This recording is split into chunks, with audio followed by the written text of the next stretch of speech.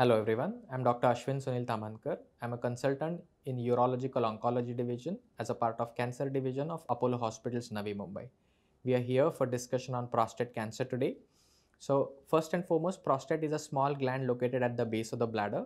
Uh, it, it happens only in males. At, at, after the 50s and 60s years of age, the prostate gland enlarges and majority of the times there can be a possibility of cancer in that. Just to enumerate the statistics, uh, it is the second most common cancer in men across the globe. Uh, exactly percentage wise 14.6% are lung cancers and 14.3% are prostate cancers. So a very much important cancer and it should not be ignored at all. Unfortunately in India the awareness is little lacking and that is why we need to circulate this message to the mass, mass media or mass population for understanding so that people will come forward for screening of this cancer. So coming to the screening, screening basically is a simple test which tells you about possibility of cancer. Many people must have heard about breast cancer screening in the form of mammogram or cervical cancer screening in the form of pap smear in females. Likewise, this is the only cancer in a man which has a defined screening test as a part of standard guidelines in the western countries. So after the age of 50 years, each and every man in western countries undergoes a examination of a standard physical examination and a simple blood test called serum prostate specific antigen.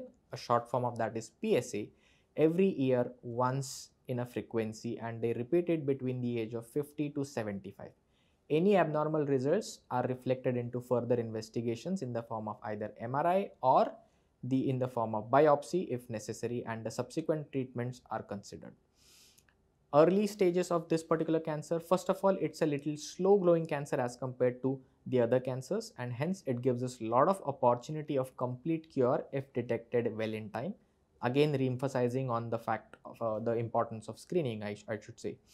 So, initial stages when the cancer is located to the prostate or the surrounding structures, either the complete removal of the, of the prostate by doing a surgery called radical prostatectomy or radiation therapy plus minus hormone therapy are the two essential options in the form of curative modality of intent. Once the cancer goes out to different body parts, we simply call it stage 4 cancer. Majority of the times it goes to the bones because it has high affinity towards the bones. Uh, we cannot unfortunately cure the patient, but that time the goal will be long-term control of the cancer and maintaining the quality of life. Obviously, we don't want to go into that stage, so we need to be coming forward for the PSA screening. September generally is considered to be the prostate cancer awareness month and that's why we are going to have screening campaign across uh, in Apollo hospital in the, that particular month. Uh, in general, we will discuss about the robotic surgery in the subsequent session, but just to give a, a, a quick emphasis on the robotic surgery for prostate cancer, it gives us rapid recovery with precise treatment. The outcomes of prostate cancer surgery essentially are measured in two manners. One is cancer related outcome and second is functional outcome.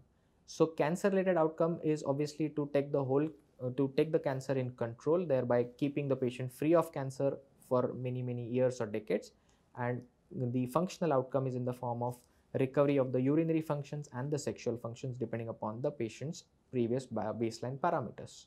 So robotic surgery gives us a lot of opportunity for this precise surgery with uh, uh, seamless and faster recovery. The discharges generally happen within 48 to 72 hours after this surgery and it's a very painless recovery. Patient generally walks on the very second day of the surgery. So most important message again today, it's an important cancer, second most common cancer in a man. A simple screening test is very much essential and important to be started starting from the age of 50 years it sometimes runs in family. So family history of prostate cancer to a father should definitely reflect into regular screening to the son starting from the age of 45 years plus. It also has some genetic implications. So again, family history in, in other members of the family in terms of breast cancer, ovarian cancer in mother or sister, uh, you should be more careful about screening yourself for prostate cancer. So, so, so please do come forward for this particular uh, cancer awareness and PSA screening starting from the age of 50 years along with examination is important to be circulated as a mass population at the level of mass population as a message for creating some better awareness. Thank you so much.